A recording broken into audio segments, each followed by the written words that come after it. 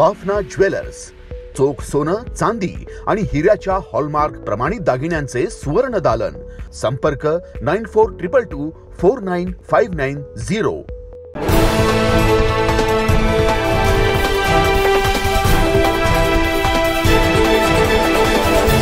Nashik विभाग पदवीधर मतदारसंघाकरिता पदवीधर मतदार नोंदणीकरिता मुदतवाढ ॲडव्होकेट जुबेर शेख यांनी दिलेल्या लढ्यामुळे यश आले उमेदवारांनी मतदार नोंदणीकरिता मुदतवाढ मिळावी याकरिता कोणतेच प्रयत्न न केल्याने पदवीधरांमध्ये नाराजी व्यक्त होती.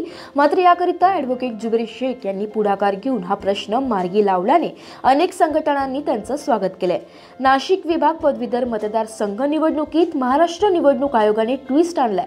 सात नोव्हेंबर या दिवशी असलेली शेवटची मुदत थेट पदवीधर मतदारसंघातील इच्छुक उमेदवारांच्या नामनिर्देशन पत्र भरण्याच्या शेवटच्या दिवसांपर्यंत वाढलेली आहे. या मुदतवाढीकरिता प्रयत्नशील नाशिक विभागातील एकमेव ॲडव्होकेट जुबेर शेख यांनी महाराष्ट्र निवडणूक आयोगाचे आभार मानले आणि या क्रांतीवीर निर्णयामुळे आपल्या प्रभाव क्षेत्रातील मतदारांची नोंदणी करून त्याच मतांवर निवडून येण्याचे स्वप्न पाहण्यातना झोपेतून खडबडून जागे करण्याचे काम महाराष्ट्र निवडणूक आयोगाने केले असल्याचं ॲडव्होकेट जुबेर शेख यांनी म्हटलंय. मी ॲडव्होकेट जुबेर शेख मी महाराष्ट्र निवडणूक आयोगाचा आभारी आहे. त्यांनी नाशिक विभाग पदवीधर मतदारसंघातील पदवीधर नोंदणीची मुदत वाढवलेली आहे. आता या मुदतवाढीमुळे पदवीधरांना वेळ मिळणार आहे पदवीधर नोंदणी करण्यासाठी. ही पदवीधर नोंदणीची जी मुदत आहे ती पदवीधर उमेदवार जे आहेत त्यांच्या नामनिर्देशनाच्या शेवटच्या दिवसापर्यंत वाढवली गेलेली आहे.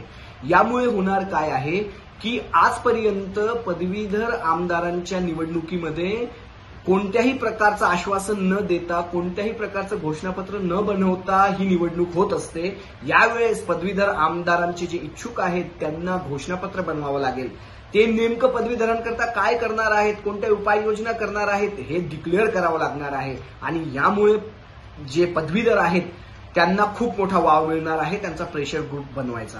या व्हिडिओच्या माध्यमातून आम्ही परत एकदा सर्व पदवीधरांना आवाहन करतो की त्यांनी पदवीधर नोंदणी करून घ्यावी. आपला आपला जो प्रेशर ग्रुप आहे तो बनवावा.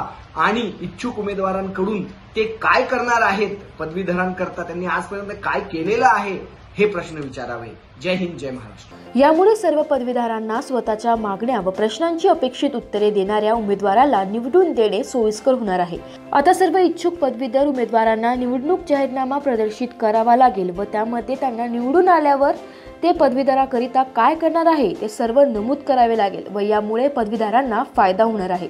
पदवीधरांकरिता कोणत्याच शासकीय योजना अंमलात आणल्या जात नसताना बेरोजगारी भरमसाठ वाढत जात असताना उद्योगधंद्याकरिता अनुदान उपलब्ध नसताना आता पदवीधर आमदार इच्छुक उमेदवारांना जाहीरनामा बनवताना काळजी घ्यावी लागणार आहे.